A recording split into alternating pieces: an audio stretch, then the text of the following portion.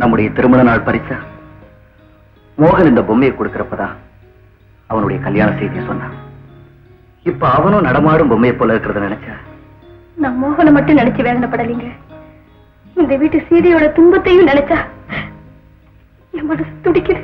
ஜானா இந்த வீட்டு சீதை நீதானே? உனக்கு என்ன வேதனை? அந்த சீதை நான் இல்லைங்க. நான் அவ சொல்றேன். ஜானா என்ன சொல்ற நீ? பெண்கள்லயே ரொம்ப துன்பப்பட்டது. சீதா பிராட்டியார்னு சொல்லுவாங்க. ஆனா ராதாவுடைய துன்பம் அதை விட அதிகங்க. சீத பதினாலு வருஷம் புருஷனை பிரிஞ்சிருந்தாலும் கொஞ்ச காலமாவது ராமனோட வாழ்ந்ததுக்கு அப்புறம் தான் பிரிஞ்சிருந்தாங்க. அப்படி பிரிஞ்சிருக்கும் போது ராமர் அவளையே நினைச்சு உருகிட்டு இருந்தாரு. ஆனா ராதாவை கல்யாணம் செஞ்சுக்கிட்ட நீங்க அவளை மனைவியும் கூட ஏத்துக்க மாட்டேங்கிறீங்க. என்ன நான் அர்த்தம் இல்லாம பேசுறேன்? அறியாத வயசுல நடந்ததை வச்சு ராதா என்ன கணவன் உரிமை கொண்டாடுறது அசட்டுத்தனம். அஞ்சு வயசுல உங்க அம்மாவுக்கு பிள்ளையா இருந்த நீங்க ஐம்பது வயசுலயும் உங்க அம்மாவுக்கு பிள்ளைதான். அதே மாதிரி அப்பா அவளுக்கு கணவரா இருந்த நீங்க இப்ப மட்டும் இல்லாம போயிடுவீங்களா? ஜானா வீணா குழம்பாத. ஒருத்தன் எந்த வயசுலயும் தாய்க்கு பிள்ளைதான். ஆனா எல்லா வயசுலயும் ஒரு பெண்ணுக்கு ஒருத்தன் புருஷனா இருக்க முடியாது. பாதிக்கப்பட்டிருக்கே. அதுக்கு யார் பதில் சொல்றது? நிச்சயமா நான் இல்ல. நினைவு தெரியாத வயசுல நடந்த குழப்பத்துக்கு நான் பொறுப்பாளி இல்ல. ஆனா நான் பொறுப்பாளியா இருக்கேன். நான் உங்க வாழ்க்கையில குறுக்கிடாம இருந்தா நீங்க அவளோட வாழ்ந்திருப்பீங்க. நான் தான் அவன் வாழ்க்கையை பறிச்சுட்டேன். இந்த கட்டில் அவன் அனுபவிச்சிருக்க வேண்டிய சோகம். நம்ம பேபி அவளுக்கு பிறந்திருக்க வேண்டிய குழந்தை. ஏன் இப்படி எல்லாம் பேசுற? எனக்கு விவரம் தெரிஞ்சதுக்கு அப்புறம் நான் காதலிச்சு கல்யாணம் செஞ்சுக்கிட்டது ஒன்னதான் உன்னை தவிர வேற எந்த பெண்ணுக்கு என் மனசுல இடம் கிடையாது. ஆனா மோகனுக்கு ராதாவுக்கும் இயற்கையாவே காதல் ஏற்பட்டிருக்கு. அதை மதிச்சு அவன் மோகனை கல்யாணம் பண்ணிக்கிறதா மாறு. அதுக்காக நீ வேதனைப்பட வேணாம். தயவு செஞ்சு என்ன தராதீங்க. ஜானா. இத பாருங்க. தெரிஞ்சோ தெரியாமலோ அந்த பொண்ணோட வேதனைக்கு நாம காரணமாயிட்டோம். அதுக்கு பரிகாரமா உங்க அன்பை விட்டு விலைக்கு போறதா ராதா கிட்ட சொன்னேன். ஆனா அப்படி உங்களை பிரிஞ்சிருக்கிற சக்தி எனக்கு இல்லைங்க. அதுக்காக அவ கண்ணீருக்கு மத்தியில என்னால நிம்மதியா வாழ முடியாது. அவ ஒரு நல்ல முடிவு எடுக்கிற வரைக்கும் நமக்குள்ள எந்த சந்தோஷமும் வேண்டாங்க.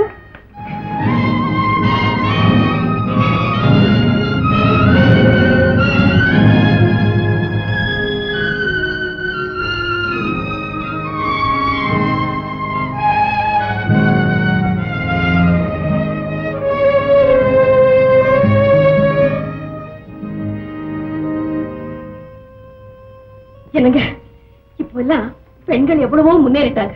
இந்த சாஸ்திரம் சம்பிரதாயம் எல்லாம் வாழ்க்கைக்கு இடைஞ்சலா இருந்தா அத காலத்துக்கு ஏத்தாப்புல மாத்திக்கிறதுல ஒண்ணும் தப்பில்லை. அநியாயமா யாரும் வாழ்க்கையே ஒரு தண்டனை ஆக்கிக்க கூடாது அப்படின்னு புஸ்தகத்துல எழுதிருக்குங்க. ஓஹோ. பெண்கள் மறுமலர்ச்சி புஸ்தகமா. இதெல்லாம் வாழ்க்கைக்கு ஒத்து வராது ராஜம் ராதாவுக்கு ஒத்து வராது. நேத்து வரைக்கும் என் மச்சனை காதலிக்கிறதா சொன்னியே. அந்த வார்த்தை என்னாச்சு? ஒரே நிமிஷத்துல தூக்கி எறிஞ்சிட்டு நடக்க முடியாத ஒண்ணுக்காக என் மச்சனை உயிரோட நடப்பினமா ஆக்கிட்டியே. உன்னால அவ வாழ்க்கையை இழந்து கடமையை மறந்து பைத்தியமா ஆயிட்டான் உன்னையே உயிரா நம்பி இருந்த அவன் வாழ்க்கையே அழிச்சிட்டியே. இனி யார் வாழ்க்கையை பத்தி கவலைப்பட போற? வாழ்க்கையை இழந்து கடமையை மறந்து பைத்தியம் ஆயிட்டான்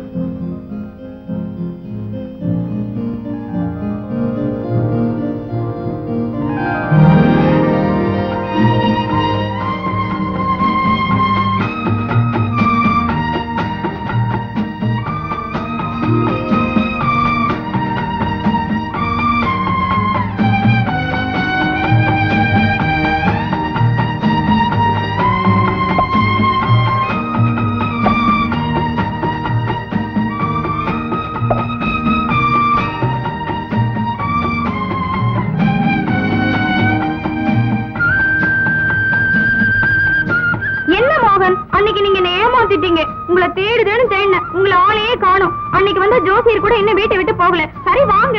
கைய விடு. பொண்ணு பொண்ணா நடந்துகிட்டா தான் கௌரவம். ஒரு விஷயம் தெரிஞ்சுக்க. அவர் என்ன காதலிக்கவும் இல்ல நான் அவருக்கு தங்கச்சியும் இல்ல. புரியுதா? நீங்க வாங்க.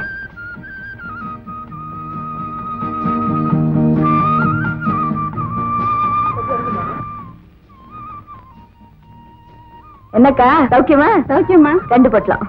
கல்யாண சாப்பாடு எப்பமா போட போற? எல்லாம் முடிவாயிடுச்சு. குடி சீக்கிரம் போடுவேன். கடலை? கடலை எப்படி சாப்பிடுறேன்னு மறந்து போச்சா? இப்படி எடுத்து?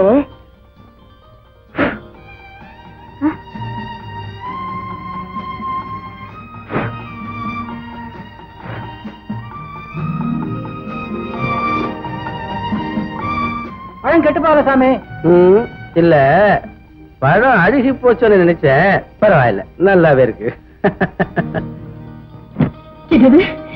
நீங்களே நேர்ல பாத்தீங்களா? ஆமா அவங்க ரெண்டு பேரும் ஜோடியா பேசி சிரிச்சுக்கிட்டு இந்த வேறு கடையெல்லாம் வாங்கி தின்னுட்டு போறத நான் பார்த்தேன்னு சொல்றேன். அப்படியா? எனக்கு ரொம்ப சந்தோஷமா இருக்குங்க.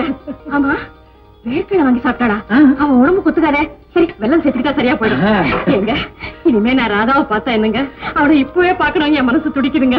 அந்த துடிப்பு உங்களுக்கு மட்டும்தானா? எனக்கு இல்லையா? என்னங்க? ராதா தானே? அண்ணி. ராதா நீ வந்துட்டியா ராதா?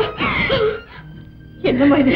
இப்படி காஞ்சி கருத்து போயிட்டேன் நீங்க மட்டும் என்னவோ நல்லாவா இருக்கீங்க? இனிமே நீ வந்துட்டல எல்லாம் சரியா போயிடும். அண்ணா. அண்ணா. பர்ஃபெக்ஷன் தான் உன் பாலிசின்னு சொல்லுவியே. ஏன்னா ஷேவ் பண்ணிக்கல? ஏன் ஆபீஸ் போகல? நான் நான் நாளைக்கே இல்லம்மா நான் இன்னைக்கே ஆபீஸ் போயிடுறேன்.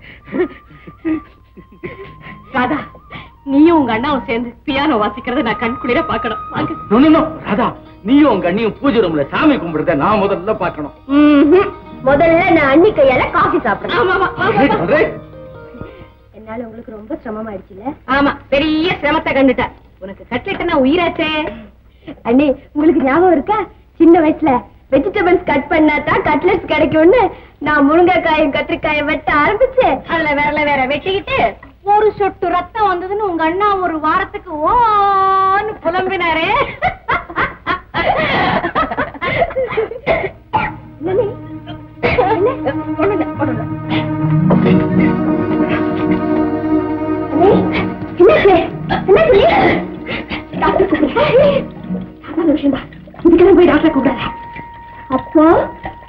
சீக்கிரம் நம்ம வீட்டுல walk walk.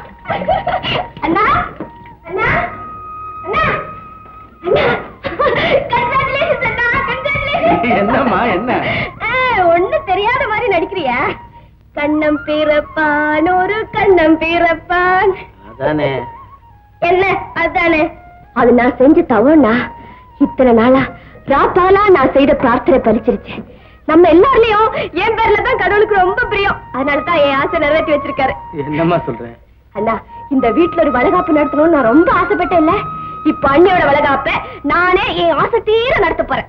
இந்த வீட்டுல நடக்க வேண்டிய முக்கியமான மங்கள காரியம் நடக்காம வேற எந்த விழாவும் வேண்டாம். ஆமாம்மா. கல்யாணத்தை தானே சொல்றீங்க? நிச்சயமா அது நடக்கும். ஆனா ஒரு கண்டிஷன் என்னம்மா? கல்யாண விஷயமா நான் ஒரு நல்ல முடிவுக்கு வந்துட்டேன். மோகனும் சம்மதிச்சிட்டாரு. இருந்தாலும் எல்லாருமே பழச மறந்து மனசை பக்குவப்படுத்திக்கிற வரைக்கும் எதையுமே பளிச்சுன்னு சொல்ல முடியல. கொஞ்சம் டைம் வேணும். அதனாலதான் முதல்ல வளகாப்புக்கு ஏற்பாடு பண்ணுவோம். அந்த நல்ல நாள்ல நானும் மோகனும் கல்யாண செய்தியை சொல்றோம். இஷ்டப்படியே செய்யுமா மலை போல வந்த குழப்பத்தை நீ ஜெயிச்சிட்டதே போதும். Happiness last you have molded your fate என் ஃபேட்டை விட என் ஹார்ட் ரொம்ப ஸ்ட்ராங் மனசு இரும்பாயிட்டா மலையும் பொடியாயிடும். கல்யாண விஷயம் காலம் கடந்துகிட்டே போகுதுன்னு அம்மா எனக்கு வருத்தமா இருக்கு. கவலைப்படாதீங்க அண்ணி. நான் கொஞ்சம் லேட்டா போற ட்ரெயின் தான்.